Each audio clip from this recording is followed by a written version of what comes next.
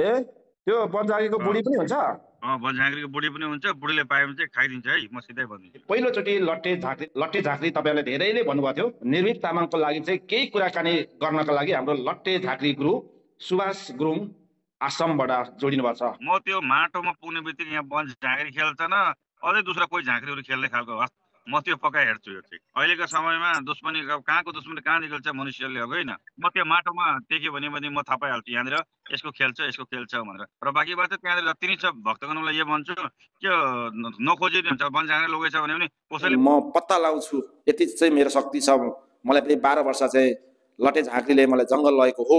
निर्भीक तामाङ भेट्नको लागि केही एउटा सङ्केतहरू आएको छ त्यो केही दिनमा भेटिन्छ कि भनेर यहाँ कहीँ घाइ आएको कारणले आज नयाँ कुराकानी गर्नेछौँ। भिडियो अन्तिमसम्म हेर्नुहोला। कमेन्टमा लट्टे झाँक्री आउनु पर्यो लट्टे झाँक्री आउनु पर्यो भनेर तपाईँहरूले भन्नुभएको थियो। आज हामी स्वयं लट्टे गुरु हुनुहुन्छ जहाँ चाहिँ नेपालमा नि भाइरल हुनुहुन्छ आसाममा नि भाइरल हुनुहुन्छ विभिन्न देशमा भाइरल हुनुहुन्छ। पहिलोचोटि दर्शकबिन तितुरी अनलाइन टिभीबाट म देवेन्द्र लिम्बू। दर्शकबिन आज हामी निर्भीक तामाङको बारेमा हाम्रो लट्टे झाँक्री सुभाष गुरुङ आसामबाट चाहिँ कुराकानी गर्दैछौँ। नमस्ते गुरु। नमस्ते हजुर नमस्ते सबै दर्शक मिलन नमस्ते छ। हजुरको नाम? म आसामबाट सुभाष गुरुङ झाँक्री आसामबाट। अहिले नेपालमा तपाईँलाई थाहा छ निर्भीक तामाङ खोज खोज्नको लागि महिनौ दिन भइसक्यो। तपाईँको विचारमा के भनाइ छ? यस बारेमा तपाईँले एउटा लट्टे झाँक्री एउटा दिव्य शक्ति भएको चाहिँ लटे झाँक्री गुरु हुनुहुन्छ। भन्नुहोस् न गुरु। बारेमा त्यो राम्रो तथ्य म त्यो बुझ्नुको लागि म त्यो उरु जस्तै त्यो धामी झाँक्री आज आउँछ भोलि आउँछ भन्नु जान्दैन हो। हजुर। त मलाई चाहिँ भनेको त्यो ठाउँमा पुग्यो भने म एकदम पक्का हन्ड्रेडमा हन्ड्रेड एक पर्सेन्ट बताइदिन सक्छु। या नानीलाई कसैले त्यो के अरे उठाएर लगेको हो या मान्छेले लगेको हो या देवी देवता लगेको त्यो चाहिँ हामी पक्का बताउन सक्छौँ। तपाईँको एउटा दिव्य शक्ति भएकोले ती बच्चा सानोदेखि नै मासु मांस नखाने फुल ढुङ्गामा नजाने बिहा भतेरोमा नजाने अनि मठ मन्दिर जाँदाखेरि चाहिँ सानोदेखि नै धेरै इच्छा गर्ने। तर त्यो बालक तामाङ चाहिँ छ वर्षको मात्रै थियो। तपाईँको विचारले तपाईँको मनले तपाईँको मन त डुल्छ हो होइन? त्यो मनले के भनिरहेको छ अहिले मेरो मनले त कस्तो छ भन्दा अहिले अहिलेको यो कलियुग हो यो। कलियुगमा हुन्छ नउठ्ने घटनाहरू हुन्छ अरू मान्छेले विश्वास गर्दैन नविश्वास गर्ने चिजहरू पनि त्यो विश्वास गर्ने भइरहेको छ है? झाँक्री छैन भन्छ नेपालमा हर पहिला अघि पुर्खो पालामा नै झाँक्रीहरूले नानी केटाकेटी लगेकै हो। लेकिन त्यसमा पनि आउँछ अब परिवारका कुनै सम्बन्धहरूमा लडाइँ झगडा छ या परिवारमा कुनै दुश्मनी छ भने त्यसमा नानी केटाकेटी हराउन सक्छ है? दोस्रो नम्बर कता छ भन्दाखेरि चाहिँ गुरु ज्ञानको हिसाबमा चाहिँ त्यो केटी नानी चाहिँ पक्का नै झाँक्रीले लगेको हो। भने चाहिँ नानीलाई चाहिँ नखोजिने हुन्छ। बरु त्यो अहिले जस्तो मैले हेर्दैछु जग्गा जग्गा गुफाभित्र घुसेर मान्छेहरूले हेर्नु खोज्दैछ। त्यो झाँक्री लगेपछि नानीहरूलाई चाहिँ भेटाउ भेटाउँदैन। तपाईँ पनि एउटा चाहिँ प्युठानको झाँक्री हो जहाँ चाहिँ तपाईँले एउटा झाँक्रीले लगेको थियो। मलाई धेरै वर्षपछि ल्याइदिएर म लट्टे झाँक्री भयो भनेर तपाईँले भन्नुभएको थियो। अघिल्लो साल तपाईँको धेरै भिडियो भाइरल आइरहेको थियो। र तपाईँले अब ती बच्चालाई अहिले एक महिना भयो भेटिन्छ जस्तो लाग्छ कि भेटिँदैन जस्तो लाग्छ? अहिलेको पुलिस प्रशासनले पहिला सर्वप्रथम त हेर्नुपर्छ मैले। मैले भने नि मैले या त नानीको अथवा नानीको नाम के बार जन्मिएको अरू नानीको ब्राह्मणले राखेको या लामाले राखेको नाम के हो त्यो चाहिन्छ मलाई। उसको या नानीको लुगा चाहिन्छ बरु त्यो जग्गाको मलाई त्यो माटोहरू सुँगेर थाहा पान्छ हामीले। यो जग्गामा लगेको झाँक्रीले या मान्छे लगेको छ मान्छेले उठाएको छ। भन्यो भने चाहिँ हामीले थाहा पान्छ तपाईँले यो अब नेपाल कहिले आउँदै हुन्छ लटे गुरु? म आउँदो दिनमा यो तेह्र तारिकमा पुग्छु। त्यति नै भन्यो भने अगर त्यहीँ देवी देवताले लगेको छ भने चाहिँ हामी रात राति मध्यरातको बाह्र बजे पूजा गरेर चाहिँ एउटा गुरु ज्ञानको हिसाबमा देवी देवतालाई मनाएर चाहिँ देवी लगेको छ भन्यो भने चाहिँ वापस गर्नु सकिन्छ। लटे झाँक्री गुरु अहिले आसामबाट जोडिनु भएको छ। उहाँ नेपाल तेह्र तारिक नेपाल आउँदै हुन्छ। अनि अब निलिक तामाङको खोजी त एक महिना भइसक्यो एउटा बच्चा हो। बच्चालाई कसैले केही गर्न सक्दैन। न मार्न सक्छ बच्चा बच्चा भनेको देउता हो। तर गयो त कहाँ निलिक तामाङ? पुलिस प्रशासनले पनि नभेटेको अवस्था। यो त निकै अचम्म र छक्कै भएन र। सुभाष गुरु।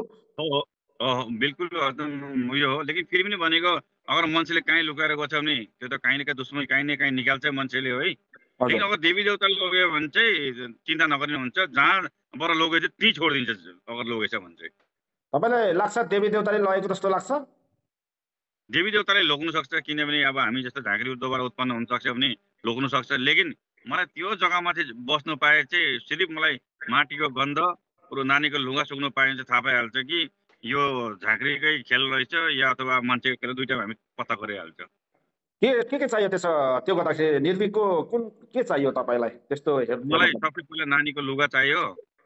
नानीको लुगा चाहियो उसको बाद जो त्यो नानी हराएको छ त्यहाँको मलाई माटो सुँग्नु चाहियो म सुँग्छु। यो कि यो पक्कै झाँक्री खेल्ने जग्गा हो या फेरि कुनै भूतप्रेत खेल्ने जग्गा हो या कुनै अर्थात् दुश्मनी लगेको त्यो थाहा पाइहाल्छ। त्यो कसै दुश्मनी लग्यो भने पनि तपाईँले थाहा पाउनुहुन्छ गुरु पक्का पक्का पक्का यो घरकै रहेछ भनेर हामीहरू हामीहरू पनि खेलाउँछौँ। सब खेलाउँछ। हामीहरू जङ्गलको देवी देवता खेलाउने झाँक्री म। म थाहा पाइहाल्छु पक्का हन्ड्रेड एक पर्सेन्ट थाहा पाउँछु म चाहिँ। कति देवी देवता खेलाउनुहुन्छ लटे लटे गुरु तपाईँ?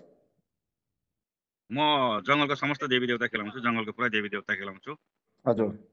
अहिले जङ्गलको पुरै देवी देवता जङ्गलको देवी देवता भने अब खुदै म पनि एउटा जङ्गलकै देवी देवता जस्तै हो।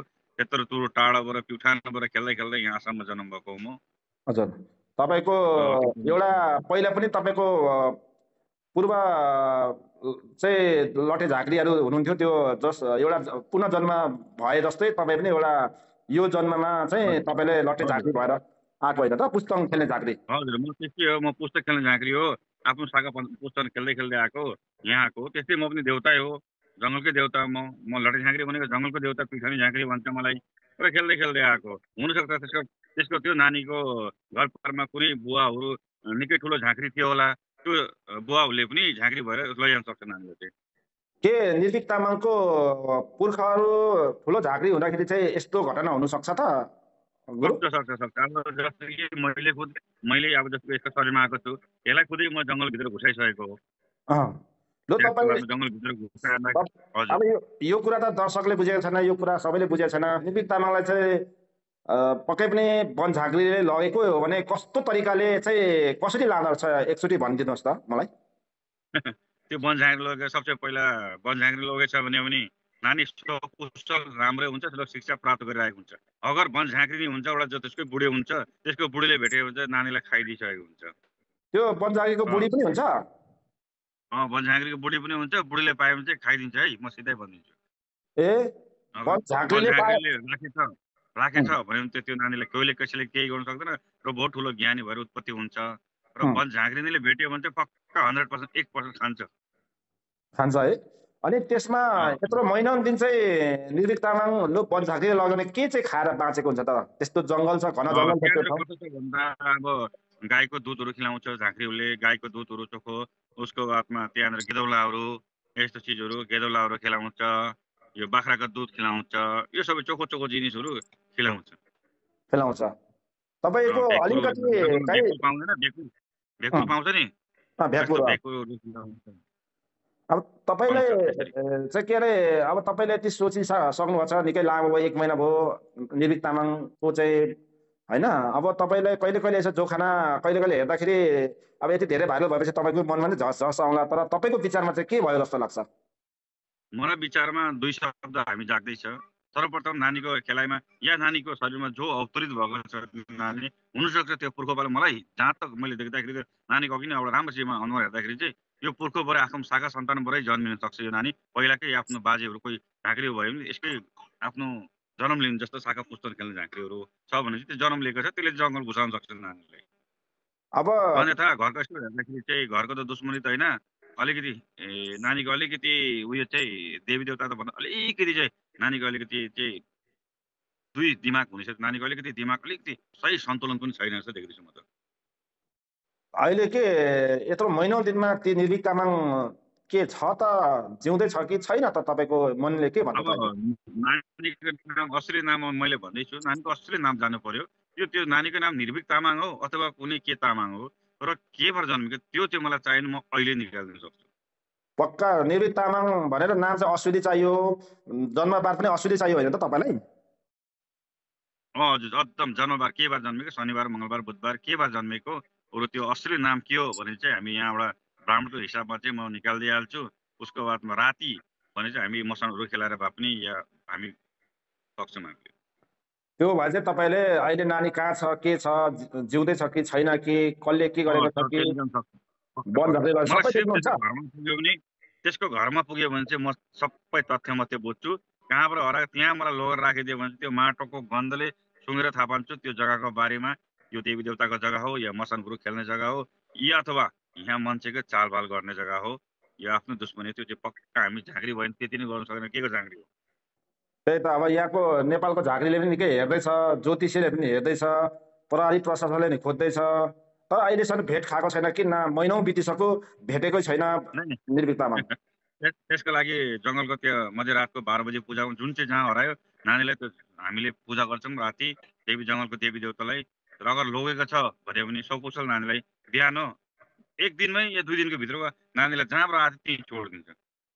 तपाईँले गरेपछि छोडिदिन्छ? पक्का जङ्गलको देवी देवता लगेपछि अब जङ्गलबाट हुर्केको म हो। हाम्रो बाछा त देवी देवतालाई आफ्नो आमा बाबुले त मान्छ नि हौ। दर्शकवृन्द तपाईँले लट्टे झाँक्रीले भनेको कुराहरू बुझिराख्नुपर्छ होला। लट्टे झाँक्री अहिलेसम्मकै मान्य झाँक्री हो जहाँ चाहिँ सबैले देश विदेशदेखि सम्पूर्ण चाहिँ दर्शकले चिनेको लट्टे झाँक्री सुभाष गुरुङ भनेर चाहिँ उहाँले चिनिन्छ। उहाँले अहिले निर्भिक तामाङको बारेमा बोल्दै हुनुहुन्छ। दर्शकवृन्द तपाईँलाई निर्भिक तामाङको बारेमा के लाग्छ? महिना दिन बितिसक्यो तर खोइ त कता छ त? हालचाल के छ त? भन्ने क्रममा पहिलोचोटि सुभाष गुरुङ लट्टे झाँक्रीसँग हामी कुराकानी गर्दैछौँ। अनि गुरु तपाईँ अब नेपालमा घरिघरि मात्रै आउनुहुन्छ। तपाईँ नेपालमा आएर के गर्नेवाला हुनुहुन्छ तपाईँ? त्यहाँ भगवान्को हिसाबमा म त पूजापाठ गर्छु फेरि त्यहाँ चाहिँ एउटा झाँक्रीसँगले बोलाउँदैछ र झाँक्रीसँगले बोलाउँदाखेरि चाहिँ म अब उपस्थित हुनेछु। कसै बिमारीहरू आयो भने तपाईँले अघि पनि धेरै फोन आएको थियो लटे झाँक्री नेपाल आउने कुरा छ अरे भन्दै थियो। अब सबैले अब ठुलो झाँक्री नेपाल आउँदाखेरि दसैँको नै विश्वास होला कि धेरैले खोजी गरेको छ होइन? तपाईँ केही धुपपत्ती पनि अरूलाई गराएर जानुहुन्छ कि? त्यतिकै चाहिँ त्यो सङ्घमा मात्रै आएर घुर्नुहुन्छ। म अहिले ट्रेनमा छु ट्रेन रेलगाडीमा छु। अँ यो बिमारीको उपचारको लागि म पक्का गर्छु। जति सक्दछ जति बिमारी उपचार आउनु म सबलाई भन्छु आउनुहोस् र आफ्नो बिमारीको उपचार गरेर जानुहोस्। किन भन्दाखेरि समय लाग्दैन होला। यहाँनिर अरू जानाहरूले मलाई यहाँ जग्गा जग्गामा मलाई यहाँ पुरै जग्गा जग्गामा र एकदम घरभरिमा नि हिजो अस्ति पनि नौजना थियो। नौजना आएर उपचार गरेर गयो। बिमार त थिएन एउटा श्रद्धा भक्तिले हेर्नु आएको थियो बिमार छ कि छैन। र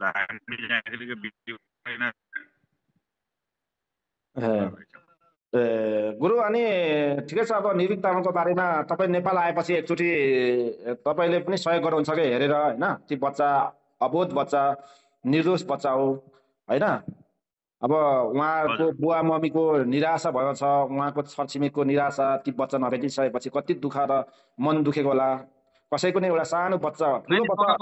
नानीलाई म गर्छु। त्यो पुगेपछि म त्यो माटोमा पुग्ने बित्तिकै यहाँ बन झाँक्री खेल्छ न अझै दुसरा कोही झाँक्रीहरू खेल्दै खालको होस् म त्यो पक्का हेर्छु यो चाहिँ। पक्कै हेर्नुहुन्छ।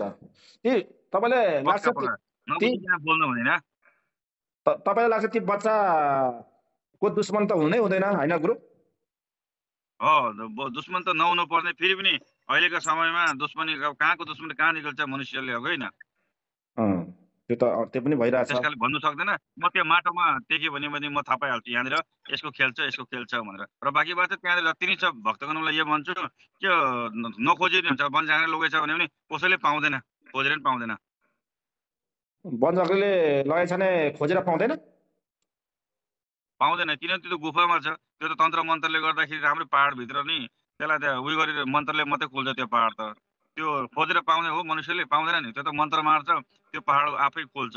फेरि त्यो मन्त्र मार्छ फेरि त्यो पाहाड जोडिन्छ। त्यस्तो पो हुन्छ त्यो गुफा त